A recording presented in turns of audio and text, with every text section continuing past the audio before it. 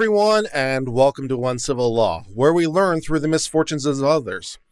As always, I hope you enjoy this live legal education content, and today may be the day I earn your subscription. For today's case, we are dealing with an order and judgment from the district court regarding the story of Amyiah Cohoon. As you may remember, Amyiah Cohoon was a girl on a, a high school at the time who went to Walt Disney World in February.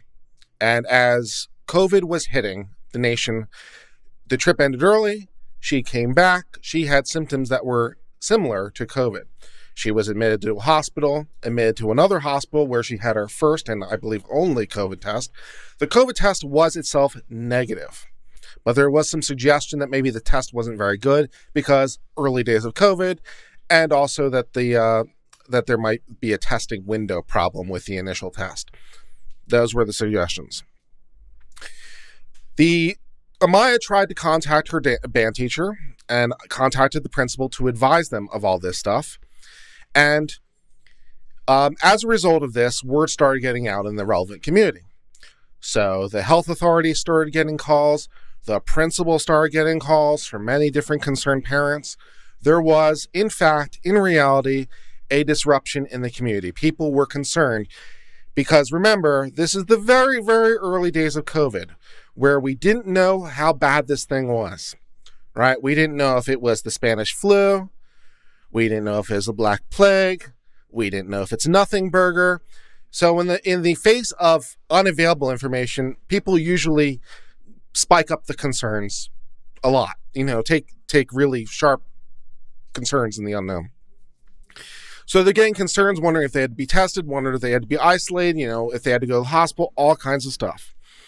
And this was all, and then most notably, there was an Instagram post, which brings us to today's story. This Instagram post, the Instagram post is the thumbnail for this video, is a picture of her in the hospital. Um, and it says essentially in so many words, I beat COVID. But remember, there had been a negative COVID test. So, because of the way HIPAA does and does not apply, HIPAA is not a barrier here. So the health department told the sheriff there was a negative test, who told the de deputy there was a negative test. And so here, so that's the that's the situation. And then the deputy went over to the house, asked slash demanded the po the post be taken down, and at some point threatened to take people to jail on disorderly conduct if that didn't happen. The post was in fact taken down. So the question was Was Amyiah Cohoon's First Amendment rights infringed? And I suppose uh, parallelly, or parallel, whether or not the sheriff acted improperly. Okay, so I'm going to give you my legal opinion before we read the court's legal opinion. Now, I want to be noted for the record that my legal opinion doesn't necessarily reflect what I want to be true because I'm gonna I'm I'm gonna blackpill you. I'm just telling you right now.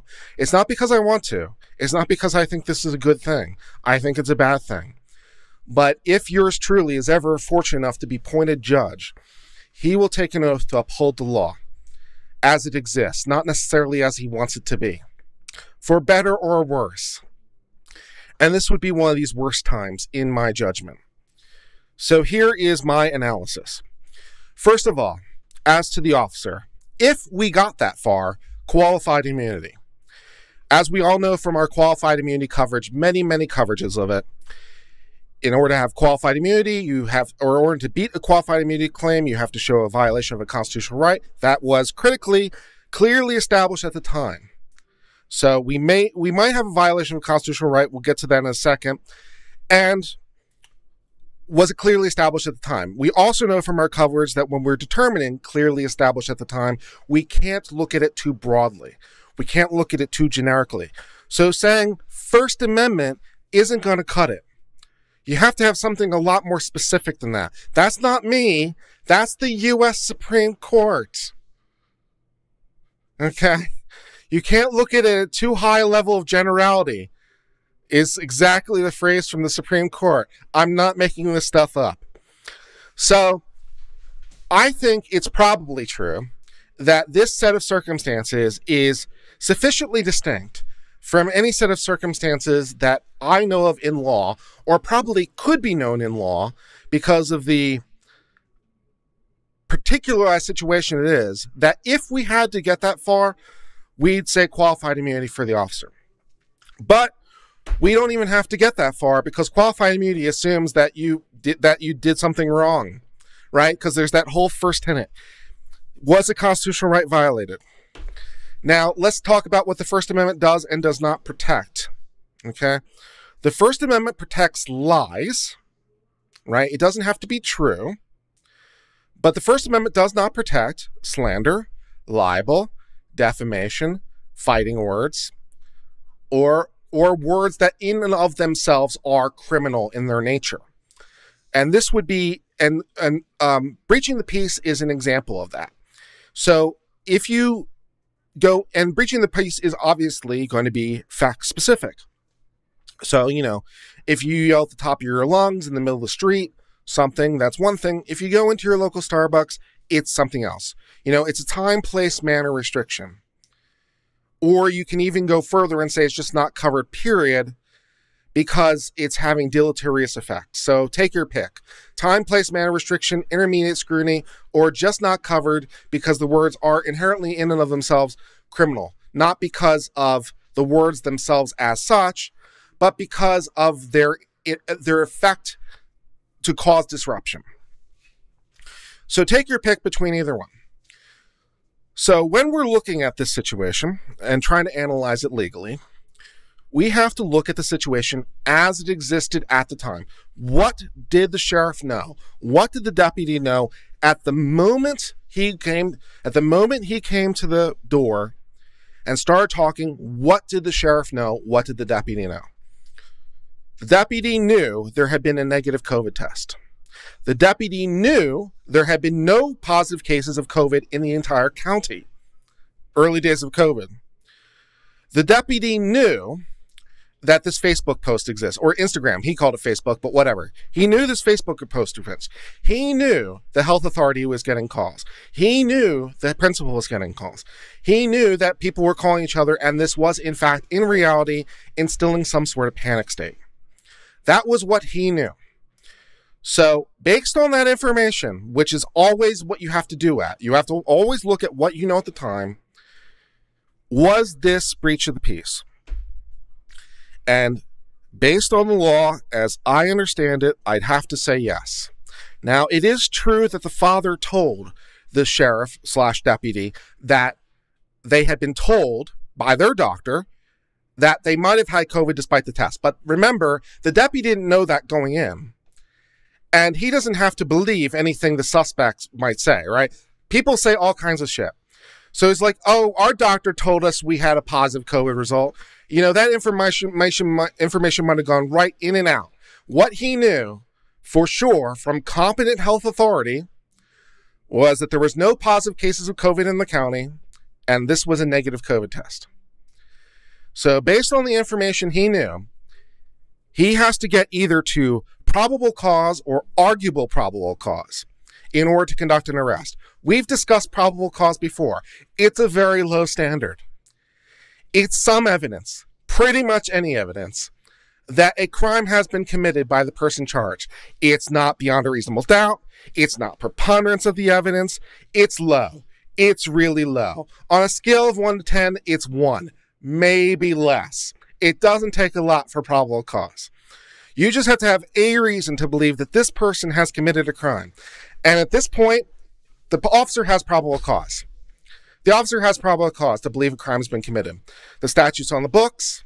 Even if it's worded overly broadly as an is a, as applied challenge, it's being applied with what the law certainly had in mind because it is in fact causing a panic in reality, and so forth and so forth. So my analysis would be qualified immunity, but I don't even have to reach that issue because the officer was fundamentally justified in his actions because he believed at the time, based on the evidence that was available to him, that he had probable cause, which he did, in order to conduct an arrest. And in lieu of the arrest, demand that the post be taken down, which solves the underlying issue. Incidentally, this would be somewhat similar to a person who is being loud and and and voicious.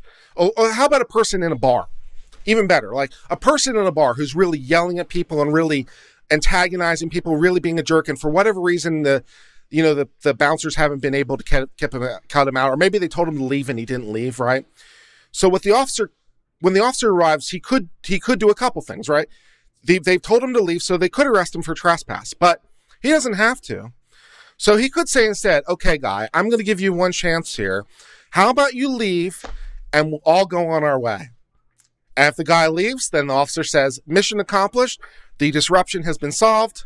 Everyone moves on with their life, right? You know, this is, of course, assuming that no one else has been hurt and no property's been damaged, right? Just a straight yelling, straight civil civil trespass kind of claim. Officer says, "Look, guy, why don't you just uh, why don't you just call it a day?" And maybe because the officer's there, he finally says fine and he leaves. Right. So it's the op- officer giving you an opportunity to stop the viol- the underlying violation, making everyone happy, in lieu of conducting the arrest. So that seems to be somewhat parallel here. So in my judgment, qualified immunity but we don't have to get that far because probable cause or arguable plausible probable cause for civil disturbance. So, yeah, that was what I said. Now, when we listened to the audio, or at least I did, and I gave you a summary of it on my channel. When I listened to the summary of the audio from the court, I came away with a distinct impression the court was going to rule for Amyiah. And I and I said on that stream, I said it, and you can go look back at it. I said I think the district court is going to rule for Amyiah, and I think the district court's going to be wrong. Yeah. The, pr- the problem is the problem is multifold. First of all, the district court can't declare new violations of rights because or clearly established Clearly established can only be decided by the court above. Okay, first let's let's start start even simpler than that. Because they're a because they are a, a victorious party, because they are a winning party, that means that they under statute can ask for legal fees from the from the other side. Right? In a civil rights case, you can ask for legal fees fees from the government. So the government has to pay money. But the government may not want to pay money right? So they would want to appeal, and the the judgment from the Court of Appeals should be, in my view, the district court doesn't have the power to establish rights. Only the Court of Appeals can decide, decide that. We recently saw that happen very recently on my channel with Business Leaders in Christ and InterVarsity, InterVarsity Christian Fellowship in Christ versus University of Iowa. Remember, we covered this where the Court of Appeals says the district court can't declare new new rights violated. Only we can do that. Right. So the district court does not fundamentally have the power to establish new clearly established rights. And then you say to my then you say to me, but Kurt, if the district court can't establish new clearly established rights, then how does a right ever get clearly established? And I'm right, that's a very good question. Eh, yeah, but you know, it's it's kind of a catch twenty two. Once again, I'm not saying it's good. I'm saying it's what's my judgment of the law is. So I said, okay, the district court's about to make a mistake. The district court's about to rule for Amyiah, and they're making a mistake, and it's going to get overturned on appeal. So that's what I thought about the case analysis. That's what I thought the district court was going to do. And with all that wonderful prelude being said, now I'm going to read the case and we're going to critique it like a good court of appeals. Let's get started with this.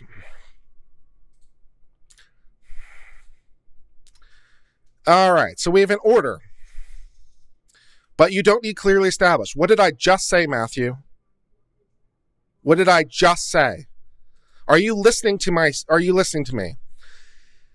All right, let's try this again. Do I have to go through the entire explanation again? Were you paying attention for the last 15 minutes? Okay because they're a prevailing party, that means the government might be so might be responsible for costs. The government doesn't want to be responsible for costs, so they're going to appeal. So the Court of Appeals has to decide either the officer didn't have actual probable cause or arguable probable cause, which he totally did, and assuming that he didn't, they'd have to conclude that qualified immunity should attach to this specific set of circumstances, which I don't think it should. The situation is too novel. So, yeah, you need clearly established because the government's liable for money because the, the because Amyiah is a prevailing party. So, yeah, that's my understanding of the law. Clearly incompetent on civil law.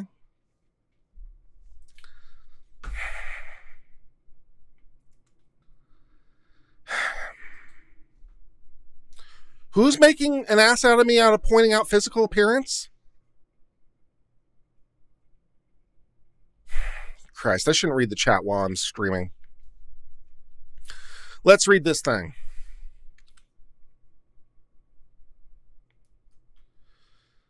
Fucking bullshit. Okay. Sweet Lord. Order granting plaintiff declaratory judgment. The SARS virus, or COVID 2 virus, and COVID 19 have had a tremendous impact on American society. But as this case makes clear, that impact has limits, and more specifically, does not extend to overriding protections of the First Amendment. This is true. This is absolutely true. On April the 16th, 2020, teenage plaintiff Amyiah. On April 16, 2020, teenage plaintiff Amyiah Cohoon, Amyiah, by and through her parents, filed a complaint alleging that the sheriff and the patrol sergeant violated the Amyiah's First and 14th Amendment rights when Sergeant Klump, at Sheriff Konrath's direction, demanded Amyiah remove a social media post detailing her recent hospitalizations with COVID like symptoms. As a remedy, Amyiah seeks both declaratory and injunctive relief, including an order barring defendants from threatening or taking coercive action against her if she posts on social media in the future about her scare with COVID 19. On April 24, 2020, defendants moved for summary judgment, and on April and on May the 15th, 2020, Amyiah filed her own summary judgment motions.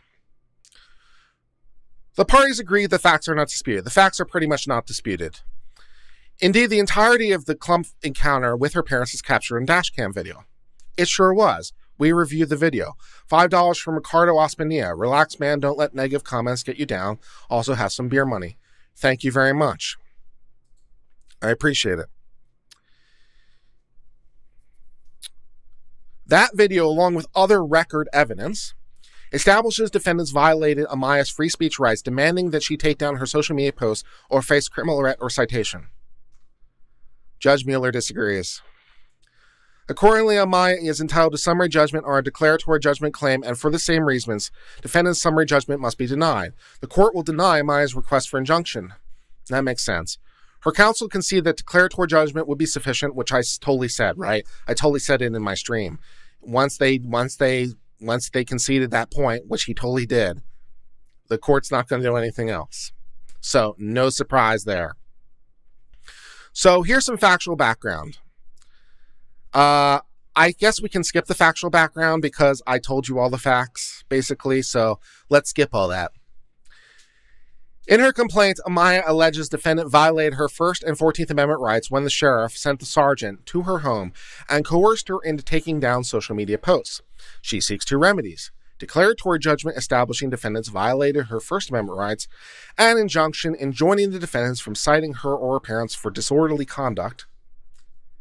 Yeah arresting them, jailing them, or threatening any of the above for future posts. The court will grant the first relief but deny the second because Amyiah's own counsel in the argument said the first relief would be fine.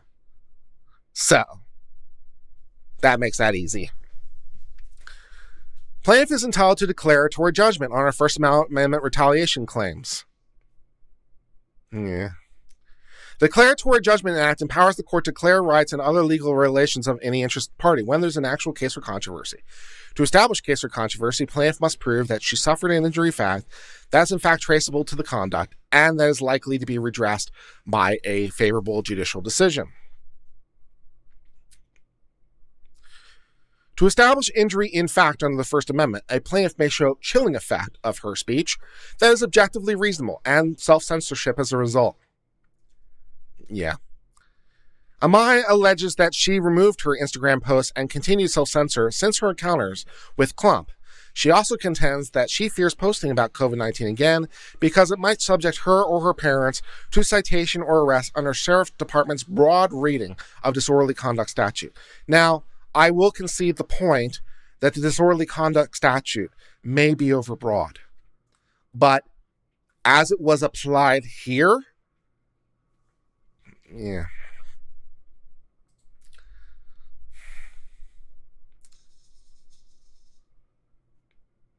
The Amyiah's posts were silenced as a result of defendant's conduct, allegedly in violation of the First Amendment, establishes injury in fact for declaratory judgment. Further, the Seventh Circuit has held Amyiah's assumed fear of, fear of future sanctions for engaged speech is itself objectively reasonable. When one cannot know what triggers an ordinance such that will be enforced, he may fairly assume it can and always will be enforced, and the total abstention from protected activity is necessary and uh, to avoid a prosecution. So, is this court going to try Okay, so the only way for this court to get to where it wants to be, the only way for this court to get to where it wants to be is to say, okay, I'm going to turn this into a facial challenge and strike down the statute facially. But, okay, let's see if the court goes with that way. For, okay, we read that. There's no dispute that Amyiah's injuries are the direct result of, and thus fairly traceable to defendant. True.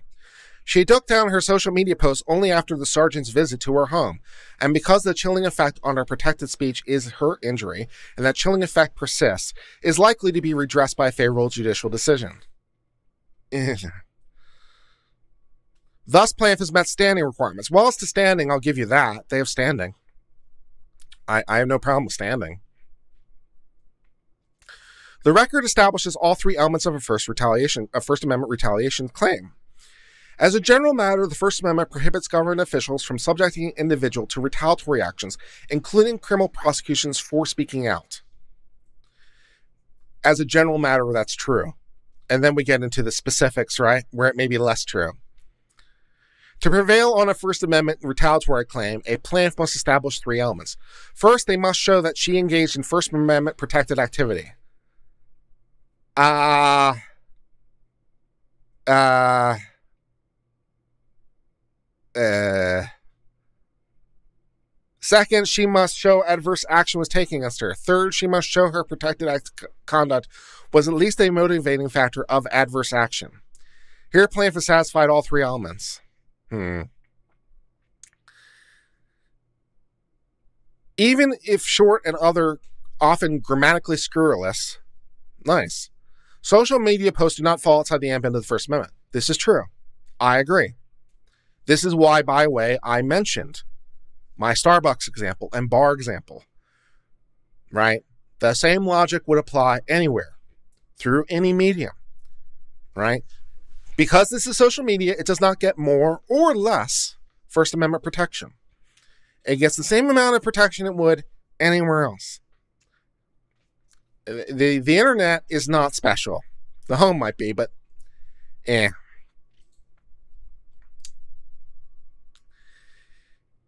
In the eye of the law, when Amyiah Cohoon took Cohoon took to Instagram, she's no different from John Tinker wearing a black armband. Wow.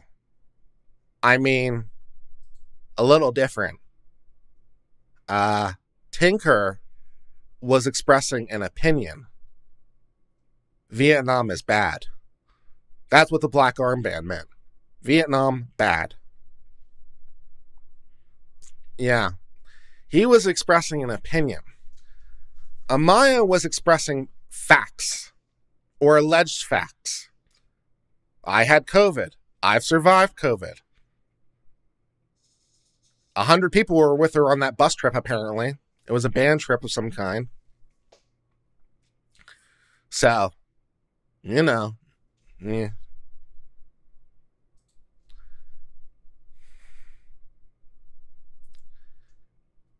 But defendants disagree. In their view, Amanda forfeited her constitutional protection when she published a post that caused concern in the community and led to an influx of phone calls to the Westfield School District and Marquette, Marquette County Health Department. Right. So that would be the other half of like civil unrest or disorderly conduct, right? It did, in fact, cause a disturbance. Not because of opinion, but because of purported facts. Hmm. Even setting aside the popular movie theater analogy actually referred to falsely shouting fire in a crowded theater, which at the time she said it, this is the problem. This is the problem. It may or may not have been true. I mean, it probably was. I mean, she had all the right symptoms, right? So, I mean, what else? It's COVID, right? It's got to be COVID. But I mean, yeah. But strictly speaking, it may or may not be true, but it's probably true. But we have to put ourselves in the mind space of the people at the time and what they knew as they were performing their actions. You know, we don't we don't give people hindsight hindsight penalties or benefits incidentally. You know, you can't lock yourself into things because the facts turned out well or poorly. Yeah. Seven dollars from Laura Myers. If social media were a thing in 1937, then people on the Hindenburg say, "Here before this plus." Cute. While content based speech restrictions are permissible in limited circumstances, such as incitement, obscenity, defamation, fighting words, child pornography, and so forth, the Supreme Court has rejected as startlingly and dangerous a free floating test for First Amendment based on ad hoc balancing of relative social costs. True that. Labeling censorship socially beneficial does not render it lawful. If it did, nearly all censorship would evade First Amendment scrutiny. Well, I don't know about that, but Defendants have, may prefer to have keep Marquette County residents ignorant of the possibility of COVID 19 in their community for a while longer. Well, it wasn't the possibility so much as someone stating it for a fact. So they could have avoided having to field calls from concerned citizens. That would be the uh, disorderly of the disorderly conduct. But that preference does not give them authority to hunt down and eradicate inconvenient Instagram posts. Eh. Amyiah's post is not captured by any of the categorical exceptions to the First Amendment. So this court will not balance the social utility of curtailing it against the government's assigned value. But defendants persist. They cast Amyiah's characterization of her illness as a lie, which is going too far for the defendants, incidentally. They didn't need to go that far insisting that because she ultimately tested negative, she was prohibited from publicly claiming that she had beaten COVID 19. But the very doctors who tested her informed her that she might have had COVID 19 in spite of a test. Yes, they informed her. But that information was not known to the sheriff's deputy or the sergeant when he arrived. And yes, Amyiah's dad told him, but then again, People say all kinds of shit, so why would he necessarily believe him? Again, not necessarily what I want the law to be, but I'll give you my opinion, my legal opinion anyway. Her Instagram posts were at, therefore at worst incomplete. The notion that the long arm of government, redaction pen in hand, can extend to the sort of incomplete speech is plainly wrong. The Marquette County Sheriff had no more ability to silence Amyiah's post than it would be to silence the many talking heads on cable news who routinely pronounce one sided hot takes on issues of the day, purposely ignoring any inconvenient facts that might disrupt their narratives. Let me help you out on that one, Court. As you just sort of mentioned, the talking heads are bringing opinions, mentioning opinions. And yes, they ignore facts that are inconvenient. Right. But they're expressing opinions. So, yeah. And the opinions aren't of the nature of, you know, there's a biological contamination currently in the city of whatever when the relevant authority says no they're not you know that's yeah they can't it, I, I i don't think the talking heads on cnn can induce a panic either eh. Indeed, even if Amyiah's post had been untruthful, which is irrelevant, No court has ever suggested that non commercial false speech is exempted from the First Amendment. This much is true. I agree with the court. It doesn't have to be true to be protected by the First Amendment. Lies are protected by the First Amendment. I agree as to that much. But then again, like disorderly conduct isn't, remember, because the nature of the conduct isn't because it's true. Like, you could go into a Starbucks and just start yelling at the top of your lungs, you know, the sky is blue, the sky is blue, right? It's still disorderly conduct. The truth value of it is irrelevant. The Starbucks has a particular particular atmosphere that you are disrupting. You are ruining everyone else's good time.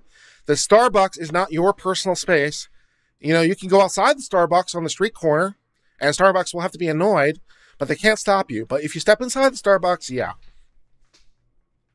So the truth value is irrelevant. But if it's actually causing a disruption, like, you know, this guy in the Starbucks, I think the police can act.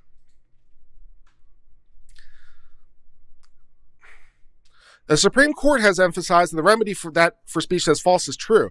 This is the ordinary course in free society. Man, true that. True that. Um, yeah, I mean, I couldn't agree with that more. Cohen versus California.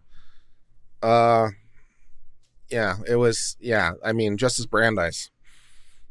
Right, brave, brave men don't try to silence speech. The cure for the cure for bad speech is more speech, not enforced silence. So it says Brandeis. So yeah, I I, I tend to agree.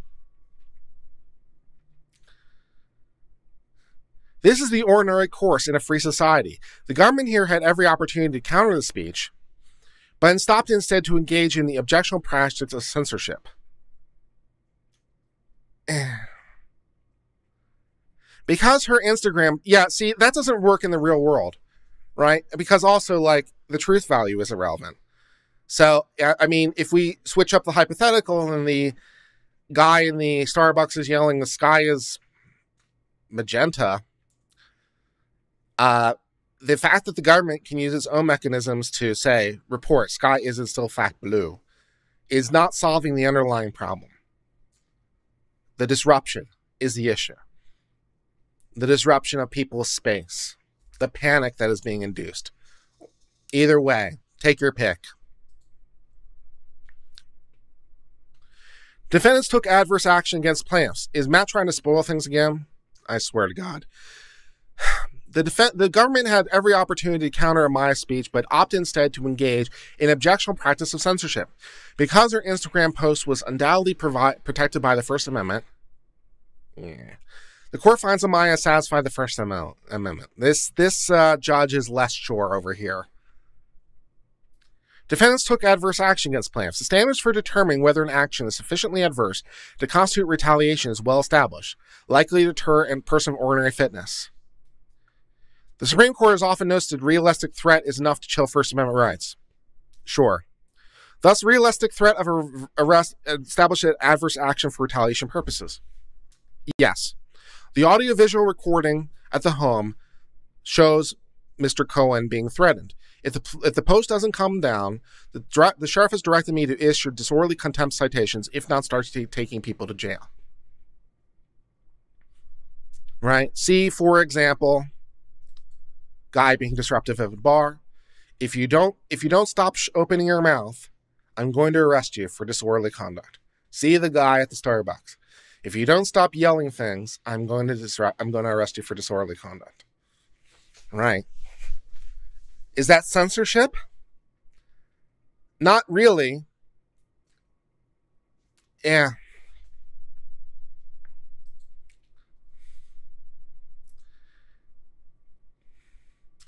According to the defense, though, because Sergeant Klump never made this threat to Amyiah, instead uttering only when the father was present, could not purposely experience the action. Yeah, that's bullshit. The father was told Amyiah. That superficial analysis fails for a number of reasons. First, the record makes clear that Klump's intention throughout the 30 minutes was to get Amyiah to remove her social media posts through the use of threats. True. That he expressed this intent only during his discussions with Amyiah's father after Amyiah retreated in the house to comply does not mean she was not the realistic subject of the threats. True.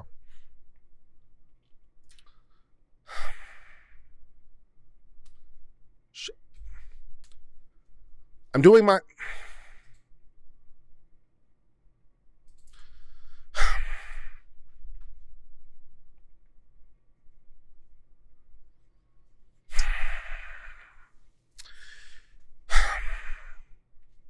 After Sergeant Klump left, I was afraid he'd find my first post and come back for that one, so I declared delete that post too.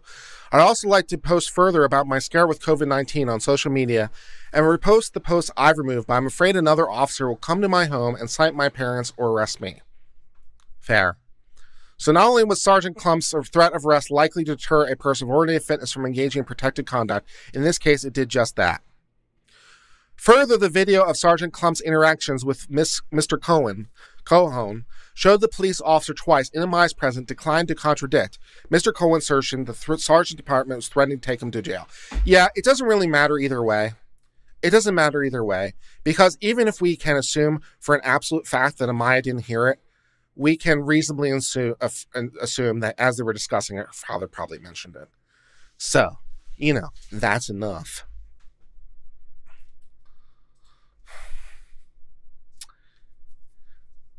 This was a very real thank you, Noli, for the, for the donation. This was a very real arrest, both of a person of ordinary fitness and particularly a 16 year old child. The threat was real. I agree with that. Analogizing to a citizen's ability to consent to warrantless police search of their property, defendants argue Maya's decision acquiesce render her actions voluntary. Yeah, that's BS. That's BS. Her actions are not voluntary. They're coerced. That's rubbish. Defendant, and again, it would be coerced in the Starbucks example, the bar example. Defendants correctly allude to the importance between different government expression and intimidation, the first protected by the First Amendment, the latter forbidden. True. In First Amendment retaliation context, what matters is the distinction between attempts to convince and attempts to coerce. Fair. Defendants ask the court to lump Klump's efforts into an attempt to convince basket. No. Amyiah agreed to delete her Instagram post prior to learning of the threats. How then can she ask can she claim coercion? No. This argument ignores the inherently challenging and coercive nature of a uniformed officer showing up at a teenager's home and demanding that she cease speech. I agree. I think it's coercive. Sergeant Klump's dash code failure shows it was not pass- persuasive rhetoric that led Amyiah to delete her social media posts, but rather his demand Matthew gives me $10 saying, Sorry, I did not mean to spoil anything. My bad, you're great. Thank you, Matthew. We need to get taken down. That was coercion by any metric. Agreed. The state cannot dispatch law enforcement to the home of the teenager to demand that she remove her Instagram posts that government officials disagreed with and claim that they were only engaged in the Socratic method. Well, it's not really Socratic because they weren't asking questions. But point taken. It's possible that Westfield administrator or Marquette County Health Department employee could have engaged in mutually respectful discussion with a mind to convince her to retract her post.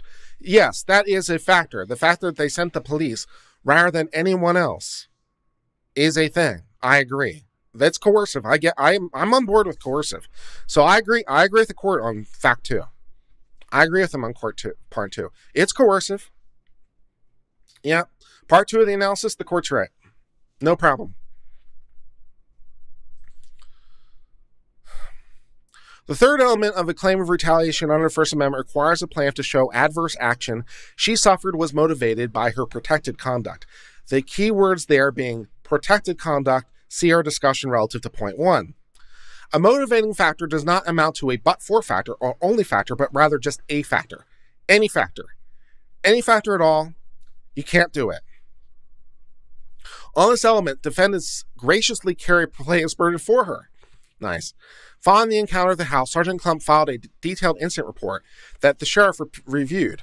With the report, they conclude they conceded sheriff advised me that he wished for me to respond to the residents and had me post the rose from social media. Yeah. And when I advised them, the remove the post, he became upset.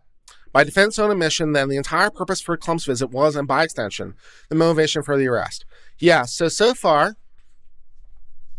so far, in at least my humble legal opinion, as law as I understand it, I don't agree with the court on factor one.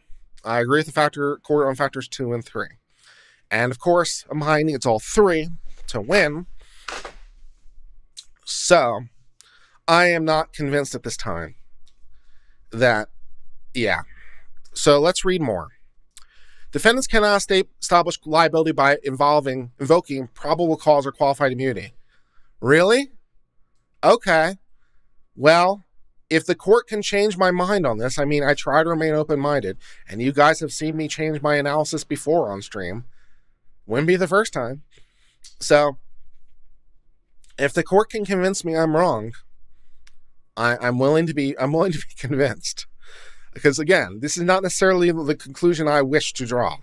So let's see if the court can do can convince me I'm wrong.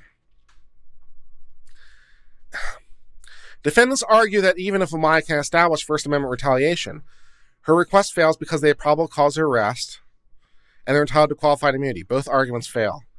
This should be good. Defendant's probable cause defense is based on Supreme Court holding in Nieves. The plaintiff brings a retaliatory arrest claim based on speech protected by the First Amendment, must prove the absence of probable cause for an arrest. If the officer has probable cause of arrest, they may not assert retaliatory arrest which sounds suspiciously like exactly this to me. The test for probable cause is objective, asking whether a reasonable officer would have believed the person committed a crime. If so, the arrest is lawful even if it was mistaken. Hmm. Defendants insist that based on knowledge at the time, Sergeant had probable cause to arrest. I, I, I yeah. In relevant part, the provisions punish whoever in a public or private place engages in violent, abusive, indecent, profane, boisterous, unreasonably loud, or otherwise disorderly conduct, which is in which the conduct tends to cause or provoke a disturbance. Yeah. Defendants appear to recognize that none of the statute's specific enumerations even remotely apply. Fair enough. It's not violent, it's not abusive, it's not indecent, it's not profane, it's not boisterous, it's not unreasonably loud, so Yes, it doesn't fit in any of those categories. And thus focus on otherwise disorderly. Wisconsin courts have interpreted the phrase to encompass acts that corrupt public morals or outrage the sense of public decency.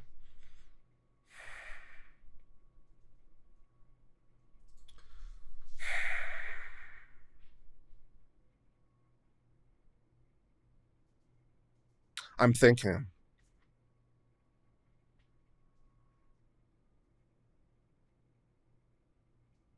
Hmm.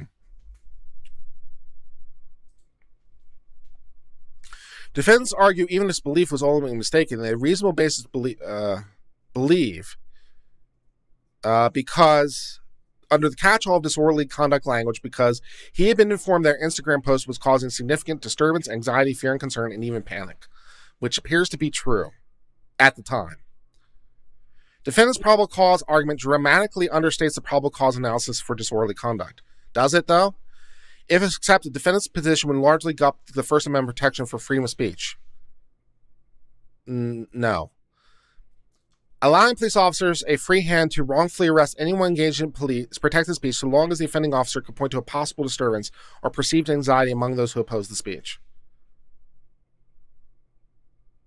Uh, but this was actual in reality. It wasn't hypothetical. Like that that conclusion doesn't follow. The conclusion doesn't follow.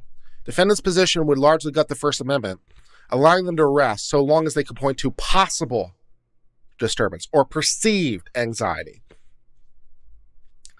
This is, in fact, reality. The court's analysis is a little off point.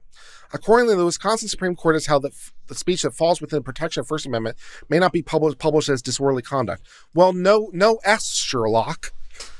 No less Sherlock. I mean, yeah, but that goes to the entire thing in the first place, right? Right? It, it, yeah, that goes to the entire thing in the first place. So again, if you're going in the middle of a Starbucks and yelling the sky is blue or the sky is brown, take your pick, you know, that speech is protected, but you're still creating a disorder. I, I yeah. The the court's parade of horribles are not really working for me right now. Defendants offer no answer to this precedent, which removes any basis for probable cause. The precedent doesn't make any sense the way you're citing it. Because of my social media posts, also you're a federal court. Because Amyiah's social media posts were protected speech, yeah, uh, Klump could not have reasonably believed had probable cause to arrest her family. That probable fails as a matter of law. Uh, no. With all possible respect to the district court, I respectfully disagree. Uh, under my understanding of the law, um, take take your example of choice. Take protected speech. Take the most protect. I mean, take the most protected speech you can dream up. You know, what would be the most protected speech you can possibly dream up? It would it would have it would either have to be political or religious, because that that's usually at the height of the, that's usually at the top of the pyramid. Uh, political because you're directly con- potentially directly contradicting the first the government, which is principally the point of the First Amendment, right? So pol- political speech is at the highest because you might be contradicting the government, so you need the most protection.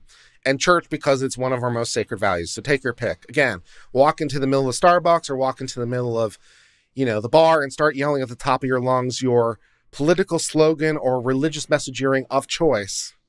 Still, I think you're going to have a problem.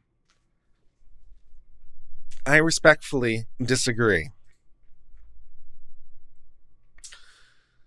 Defendants fare no better with their invocation of qualified immunity. It is well established that qualified immunity does not apply to requisites for declaratory relief. Yeah, but the problem here is that you're you in order for to, in order for it to be okay. I mentioned this before because it hasn't been set up before. I don't yeah, I don't know about that one. They cannot use qualified immunity as a defense to the declaratory judgment claim. Since money damages are not an issue, the court will not reach whether or not qualified immunity would have appeared in the case. Okay. Money damages are not an issue. That doesn't mean money isn't an issue. Money damages is I give you money or I order you to give money for the harm you've caused, right? Money monetary damages would be sheriff, you pay Amyiah $10,000 for the bad. That would be monetary damages. But as I mentioned several times, because they're a prevailing party under 1983, which is the only reason we can be in federal court in the first place, remember, we're in federal court. The only reason we can be there is under 1983. Because they're a prevailing party, that means under 1988, they can seek costs, which are not monetary damages. So they could seek fees and attorney's times and so forth and so on. That's not monetary damages.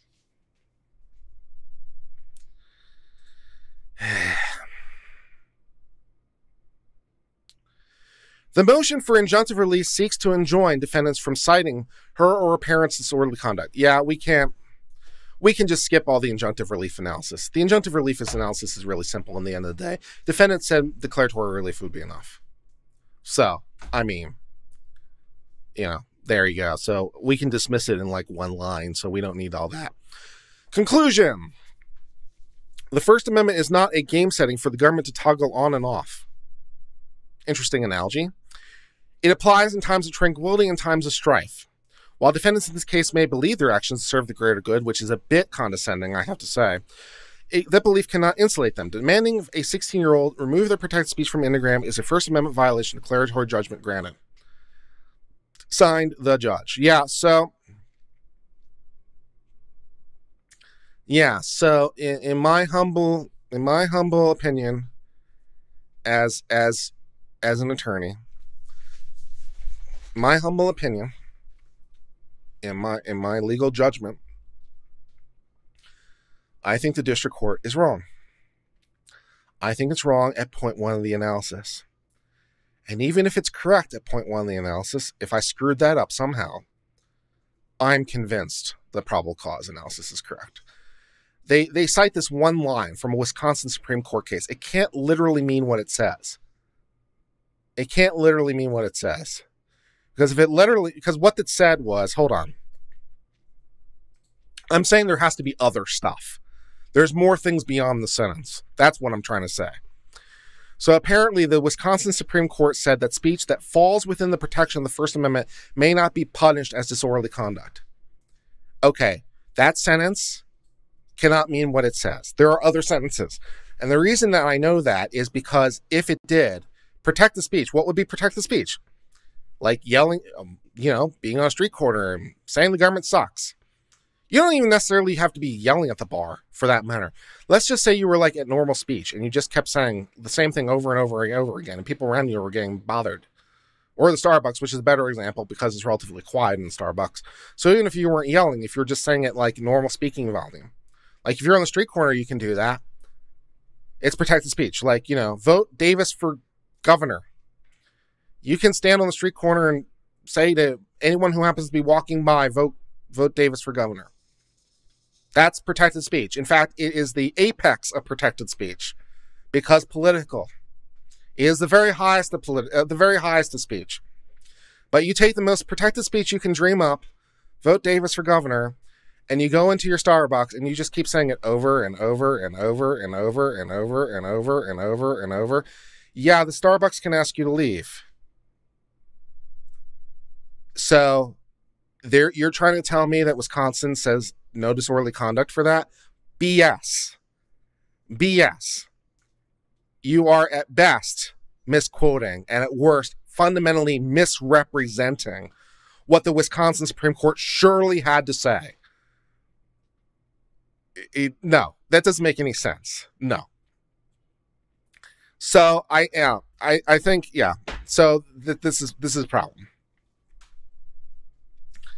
You know. So I yeah. I, I don't I don't think this. These are bad, bad analogies. A better example would be if she put up a billboard. Okay, well, I was just trying to point out that, yeah, I was just trying to point out it would be the same. Uh, so yeah, sure, it would be the same if she pulled out a billboard. It would be the same if she, instead of doing an Instagram post, I don't know, handed out flyers. Maybe put them in the mail. The mail's protected. Maybe mail them out to everybody. Maybe she put up flyers on local bulletin boards and it was causing disruption. So sure, I mean it's maybe maybe she has some money and so it would be the same as if she it would be the same as if she bought a full page ad in her newspaper. I mean, you know, that would be the same, right? It's written communication and put that in newspaper. Uh I I think you're there. Uh, I think you're. I think you're there. Or I yeah. So, and for that matter, again, if the it's not like the newspaper doesn't get special First Amendment protections. The newspaper doesn't get more or less First Amendment protections than you or I. They're just the same as everybody else. The First Amendment applies to everybody equally, right? So if the First Amendment, uh, so yeah, the First Amendment allows you to make up lies. So suppose the New York Times, because they have the ability to make lies, let's suppose that they, you know, let's have a laugh on April 1st, and they make a front page story that's a lie about a chemical spill in, I don't know, New York. And if you go outside and breathe the air, the chemicals will get to you and cause long term damages. Is it a lie? Yes. Is it protected speech? Are you are you serious? You you seriously don't think you can go after the New York Times for that? for inducing that panic and the harm? You really? I don't think so. I don't think so. Or what if instead of a chemical spill, what if they made up a completely fictional disease? Or what if it's a real disease, but it doesn't have, it doesn't, isn't affecting New York? You know? Cases of polio have spiked. Polio on the rampage throughout New York. Stay inside. I mean, someone in New York, I guess, theoretic, or you know, what's or, or Ebola, or you know, pick your pick your disease vector of choice over here. If the New York Times just makes up stuff and puts it on their front page, you really think they're protected from lawsuit? I don't think so. I don't think so. Moniker says they safely told everyone the air was safe at ground zero on 9 11. Well, they they might have been liable for that if yeah, if you can show now if you can trace damages to that, which is a little bit hard, but Also, it would depend why they said it. Did they say it because they were reporting what a government official had told them? Then that would be different, right? If they're saying that, you know, you know, so and so at the health department says air safe, safe to breathe, that's a lot different than them just making it up. So it would depend. How did they do it? Yeah, yeah. I, I you know, just just pick your analogy of choice. World of War broadcast. You're closer. Yeah, you're closer. World World of War broadcast. You're closer there, a lot closer. Yeah. All right, so let's see if there's questions, which I'm sure there are. I've been ignoring you for a while. Hold on, let's read this. Uncivil law. Is that the same district judge that said the state judges are enforcing the law? No. It's in a completely different circuit. It's Ohio. So it's Sixth Circuit instead of Fifth. So, no. Matt said, just saying, what relevant law? Okay. Uh, Azeroth said, what I want to know is how a woman has untouchable stat- status for abortion. But the dis- disappears the moment the government starts forcing any other medical procedure. That's a very good question. And Rakita has pointed this out as well. Yeah, why is my body, my choice true for abortion, but not true for like any other medical procedure known to man? I, I don't know. It's a good question. Venetius Prime said, like AOC, wherever I go, I stand out and see the show. Unlike AOC, people like me. Ouch. Matt said, so in Sojourner versus Edwards, the Fifth Circuit talked about, okay, we, that's old stuff. I'm sorry, I'm reading old stuff. I'm, how these old chats get back? Where are these chats coming from? Anyways, pink and blue, I mean that much to you. It seems your predictions panned out. Well, we'll yeah. Uh, Internet Communicator said, are you going to cover the Epic leak? I don't know what leak that is, so I don't know, but maybe. Hose Med said, my bad. Hosmed said, It's not that low, it's more than reasonable suspicion. Yeah, I mean, no. Depends what you mean. Do you mean reasonably articulable suspicion? Reasonably articulable suspicion is very low. Probable cause is a little bit higher. You're right. It's yeah. Reasonable suspicion. Yeah, you have to be you have to be careful with that one. Uh, reasonable articulable suspicion is the phraseology you want. Matt says, but you don't need clearly established. I discuss why you do. Rogue says, all I said is you're looking a little orange. Noted. Uh, it might, it might be the light source because it's a little bit warm, uh, but I think it's better than the bright ones anyway. Hose Med, I just don't see what unrest it was equally, even arguable likely to cause, even if it was a lie. People might get mildly apprehensive and school administrators might have to take some calls. I mean, people were in a panic. Yeah, people were call- not only was school administrators calling, but they were calling each other, and people were worried, and you know, it was causing an actual panic. As as I'm sure. Remember, early days of COVID, when we don't know much about COVID, what this dangerous disease is, and you know, people are worried.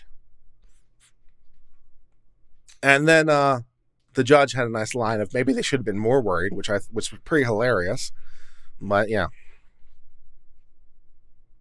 Melanie says, Was Amyiah not sharing the doctor's opinion that she likely had COVID? It wouldn't matter. As I said, it wouldn't matter either way.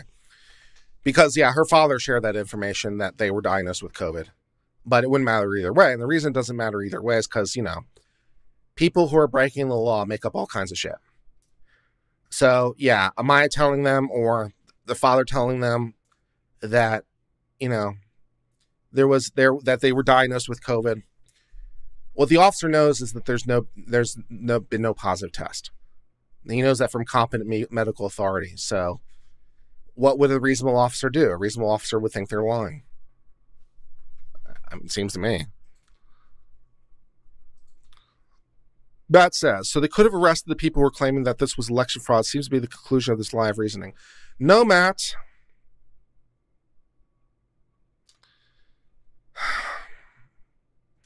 Matt says, I see a difference here, though. They weren't asking them to stop speech, but retract old speech, forcing them to speak.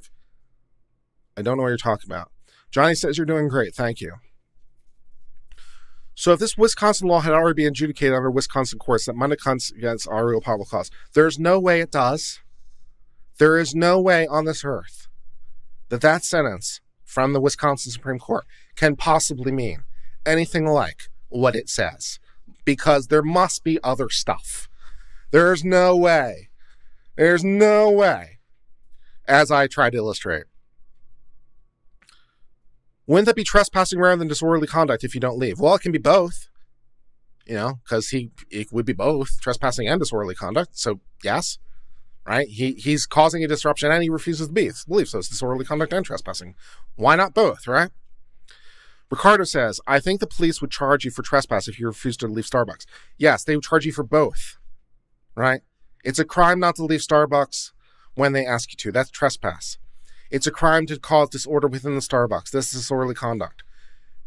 They can arrest you for both. Why not both? why why one or the other? They're both illegal. Joe says you have this for the wrong stream. What does that mean? I have this for the wrong stream.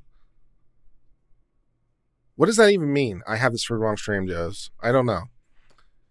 Ricardo says, but the news claims facts that are false all the time. They're never charged.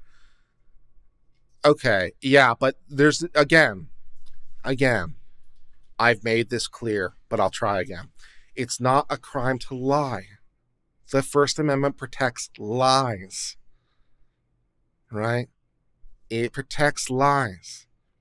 So the fact that newspapers report lies is not disorderly conduct. But if they produce lies that do cause disorder, especially if they're manuf especially and we're assuming again they know them to be lies manufactured right? Whole different ballgame. oh yeah i said that because you're reading questions from the texas. I don't know why that stream was i don't know why it was to be old questions from the past but for some reason it was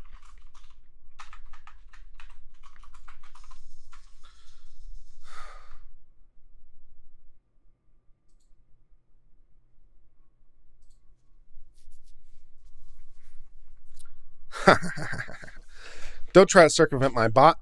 Um, all right, so now I'll take. Yeah, these lies have caused actual war. See Spanish American War. Well, in that case, you might be able to sue the New York Times. Right? I mean, they caused a lot of damage, so I don't know if anyone ever tried, but you know, again, you also have to be does the newspaper know they're false because in my example in my example i was saying that they're just out and out false. They're making it up just to prove the point. So yeah. It's a crime to lie to a police officer conducting an interrogation. That's true. It's obstruction. And if it's the feds it's a whole other set of crimes Mary became a supporter. Thank you, Mary. The opinion ignores time, place, manner.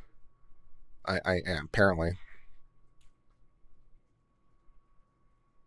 This is this is not a well this is not a well reasoned opinion.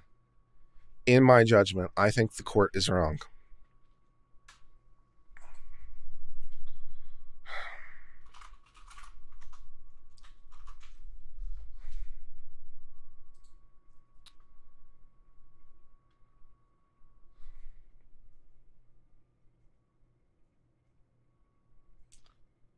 All right, so let me show you what the problem is. Let me show you what the problem is.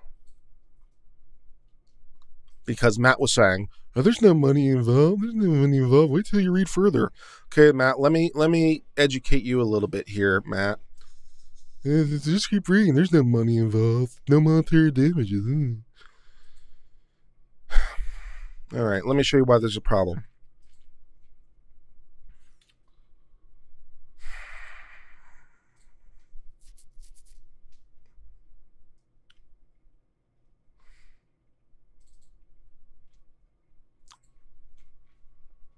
Five dollars from Ricardo Ospinilla. This whole thing was a mess. School of men should have gone there, not the police. I agree.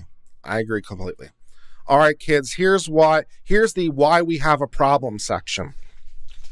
Here's the why we have a problem section because the court said, "Oh, no monetary damages." All right, so here's why we have a problem. This would be 42 USC 1988.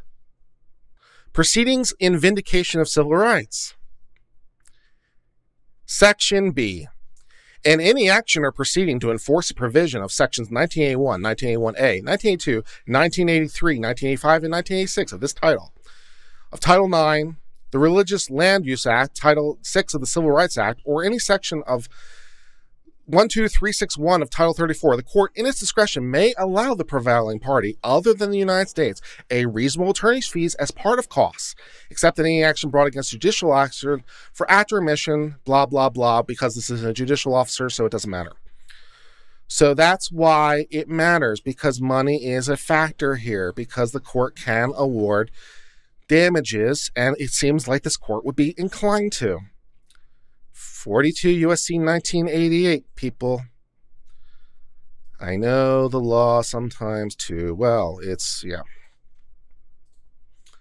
Of course, the court doesn't have to. It does say in its discretion it doesn't have to. But it does seem like the kind of court that would. So, you know. That's why money is a factor.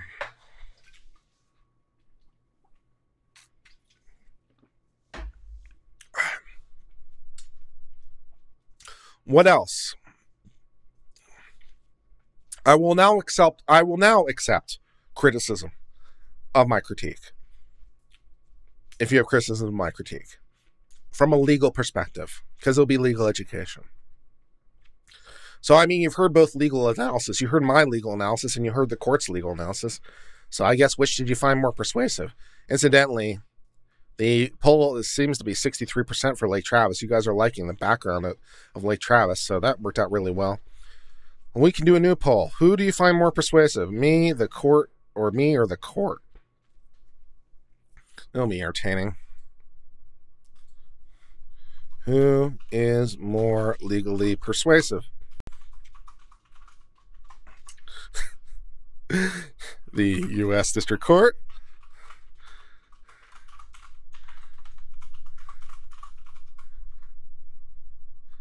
Yeah, boy on civil law.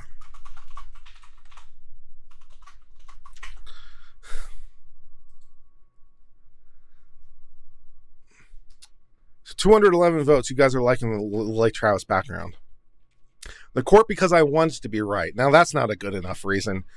I I I want it to be right too. I mean, but you know, no.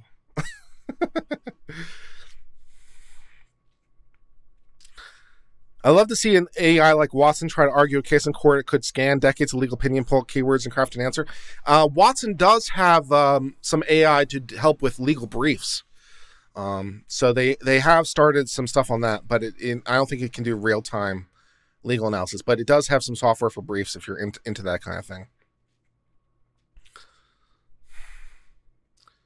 Where's my man on civil law? All right, so I, I, I guess because I didn't watch the streams, um, Viva had a stream on this. I understand. Uh, would it be correct to say that Viva's analysis might have been somewhat different than mine? Just a guess. I'm I'm guessing that Viva said something along the lines of "Praise be, praise be." Oh, I wish we had more of this, like in the Cal- Canada. You know, it's nice to see a court standing up for the First Amendment, standing up for people's rights. Something along those lines was Viva's opinion, if I had to guess. Yeah.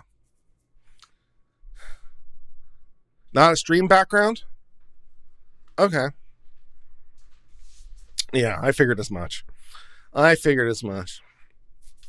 But I think the analysis is wrong.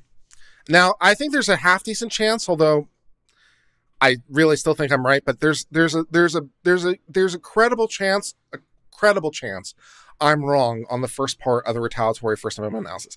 I don't think I am, but there's a credible argument. But the QI now the the QI analysis or the, not the QI analysis uh, because it's not available in declaratory relief apparently, but the uh, probable cause analysis is just wrong.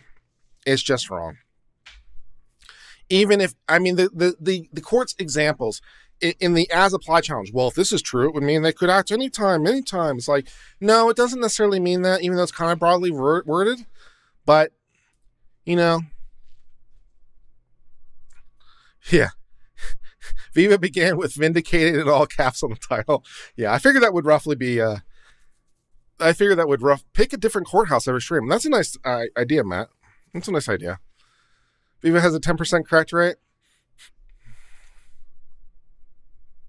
Yeah, he's he's not a U- U.S. lawyer. That's true. Yeah, he's briefer than me. Well, that's well, I drew a complex legal analysis, and I also had to explain my legal analysis and in major parts because the court disagreed with me. So I had to explain where I think the court is getting it wrong. So if so, the, the next question is uh, so I guess the next question is does Amyiah ask for fees, or their attorneys ask for fees? Does the judge grant fees? It is discretionary, and if so, does the judge and then does the judge yeah then then we're off to appeal, and the appeal will be the appeal will reverse. It has to. It has to. On appeal, could the court find some way to rule it's overbroad or just need to stop a qualified immunity? On a facial challenge, I don't think you can get there. I don't think you can get there. Because what otherwise disorderly conduct might mean, I don't think is infinite in scope. And besides, yeah, I, I don't think you can get there. Um, that'd be interesting to try to say uh, on its face. As an as applied challenge, it's a loser. Um, on an on its facial challenge, I, I think you're going to run into problems there because I, I would be willing to bet that pretty much every disorderly conduct is written roughly the same way everywhere. I mean, they might use slightly different words, but you know, we all kind of understand what disorderly conduct is because they're all written basically the same. Now, it might make some difference at some point of some fine point of the analysis, but you know, in 99% of the situations, you know, we have a pretty good idea what this is. They did ask for money and they ignored it. Well, the court, yeah, the court didn't deny the monetary relief, which is within the court's province. But they can come back and ask for court costs if they want. They can file a motion. Just how curious, how does the state Supreme Court ruling when it matters to come clearly established under 1983? It doesn't. Yeah, if, if you're doing a 1983 analysis, state Supreme Court decisions are irrelevant right? The only reason the state Supreme Court analysis is relevant is because of um, the state probable cause issue, which is a matter of state law. So it's not relevant for your 1983 analysis, but it it is rel- well. I guess it's relevant in so much as the defense for probable cause would have to rely on state law. So that would be a state substantive law issue, but otherwise, the Wisconsin State Supreme Court's decisions are irrelevant.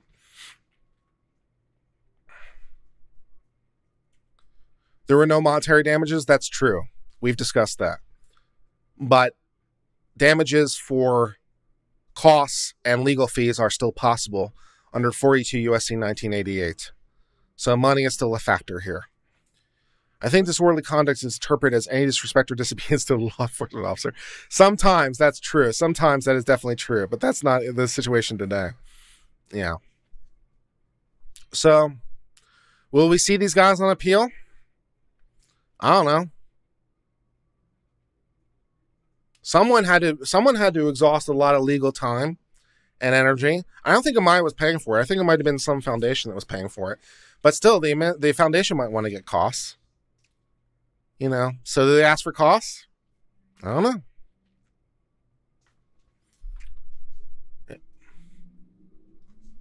And even if they don't uh, even if they don't ask for costs, strictly speaking the, the, they could still appeal it they just might not have as much motivation i mean it's still a declaratory relief they could still appeal even without the cost so i mean they can appeal either way and say the declaratory judgment is wrong because we had we had the probable cause to arrest which they totally did so the declaratory relief is wrong or the or maybe yeah so yeah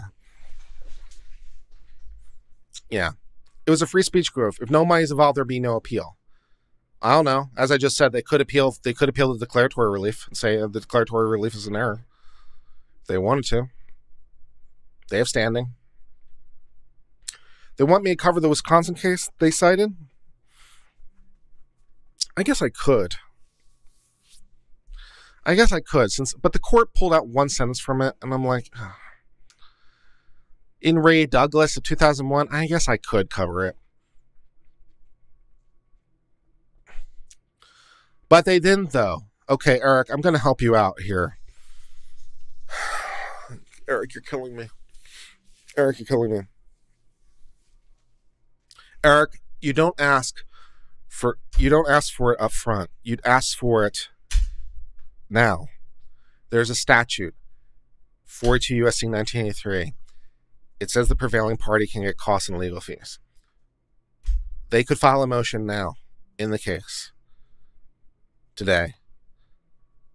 So, yeah. There's a statute. They could file a motion, right? There's an opinion and there's a judgment that said declaratory relief declaratory relief for the plaintiff but that doesn't necessarily mean the case is over because there can be things after that for example 42 USC 1988 so they haven't yet they might 42 USC 1988. Yes, the award of damages. We've covered it a couple times. We read it on screen.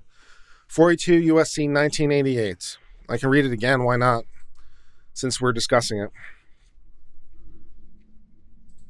42 USC 1988. In any action to enforce a provision of Section 1983, the court in its discretion may allow the prevailing party, other than the United States, a reasonable attorney's fees as part of costs, except in any action brought against a judicial officer for act or omission taken in such officer's capacity. Such officer shall not be liable for costs, including attorney's fees, unless action was clearly in excess of that officer's jurisdiction, which this isn't a judicial officer, so the entire back half of that paragraph is completely irrelevant. But they can get attorney's fees if they want. And as I pointed out, they don't they could still appeal even without it because the the, relief the, the the relief is wrong. So, yeah.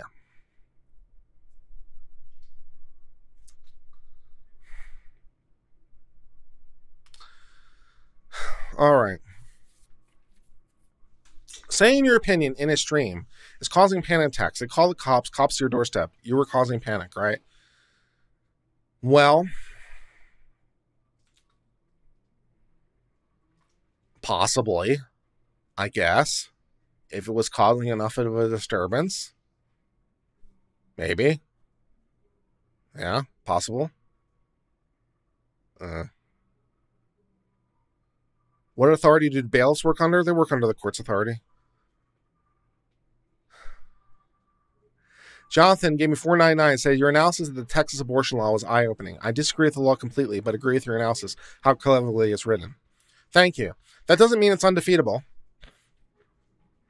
It's one of the reasons we're tracking U.S. versus Texas, because we think, or at least I hope, that's going to provide some really great legal analysis as we learn along the way. But I appreciate that. Um, yeah, it doesn't mean that U.S. can't win, but Texas definitely tried really, really hard. So I appreciate it.